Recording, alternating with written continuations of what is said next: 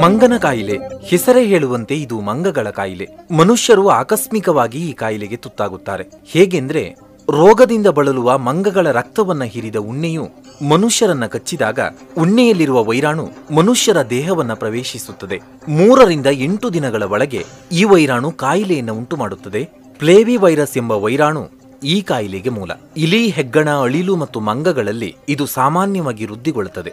ಜಾನುವಾರುಗಳ ರಕ್ತವನ್ನು ಹೀರಿ ಬದುಕುವ ಉಣ್ಣೆ ಹುಳುಗಳ ಸಹಾಯದಿಂದ ಈ ವೈರಾಣು ಮಂಗಗಳು ಮತ್ತು ಇತರ ಪ್ರಾಣಿಗಳ ದೇಹವನ್ನು ಪ್ರವೇಶಿಸುತ್ತದೆ. ಈ ವೈರಾಣು ತಲುಪಿದ ಮಂಗ ಬಹುಬೇಗನೆ ಸಾಯುವುದರಿಂದ ಇದನ್ನ ಮಂಗನ ಕಾಯಿಲೆ ಎಂದೇ ಕರೆಯುತ್ತಾರೆ. ವೈಜ್ಞಾನಿಕ ಭಾಷೆಯಲ್ಲಿ ಇದು ಕೆಎಪ್ಡಿ ಕಾಯಿಲೆ. ಜನವರಿಯಿಂದ ಜೂನ್ ತಿಂಗಳವರೆಗಿನ ಹವಾಮಾನ ಈ ಹುಳುಗಳ ಸಂತಾನೋತ್ಪತ್ತಿಗೆ ಅನುಕೂಲವಾಗಿರುವುದರಿಂದ ಈ ತಿಂಗಳಲ್ಲಿ ಈ ರೋಗ ಜಾಸ್ತಿ ಕಂಡುಬರುತ್ತದೆ.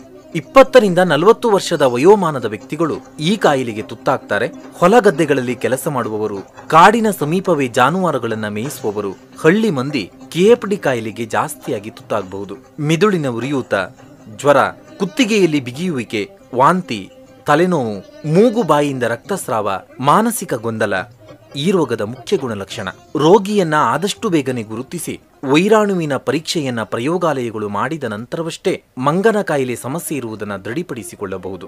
ಹಾಗಾಗಿ ಈ ಕಾಯಿಲೆಗೆ ನಿರ್ಲಕ್ಷ್ಯ ಎಂದೂ ಸಲ್ಲದು. ಈ ಹಿಂದೆ ಅಪಾರ ಸಾವು ನೋವುಗಳು ಈ ಕಾಯಿಲೆಯಿಂದ ಸಂಭವಿಸಿದೆ. ಹಾಗಾಗಿ ಕೆಎಫ್ಡಿ ಕಾಯಿಲೆಯ ಯಾವುದೇ ಗುಣಲಕ್ಷಣಗಳು ಕಂಡುಬಂದ್ರೆ ವೈದ್ಯರನ್ನ ಕೂಡಲೇ ಸಂಪರ್ಕಿಸಿ. ಉಣ್ಣೆ ಹುಳುಗಳೇ ಈ ಕಾಯಿಲೆಯ ಮೂಲವಾದ್ದರಿಂದ ಉಣ್ಣೆ ನಿವಾರಕ ಔಷಧಗಳನ್ನು ಸದಾ ಬಳಸಿ ಈ ಕಾಯಿಲೆಯ ಬಗೆಗಿನ ಸ್ಪಷ್ಟ ಮಾಹಿತಿಯನ್ನ ತಿಳಿಹಿರಿ ಮತ್ತು ಈ ಮಾಹಿತಿಯನ್ನು ಬೇರೆಯವರಿಗೂ ಹಂಚಿ.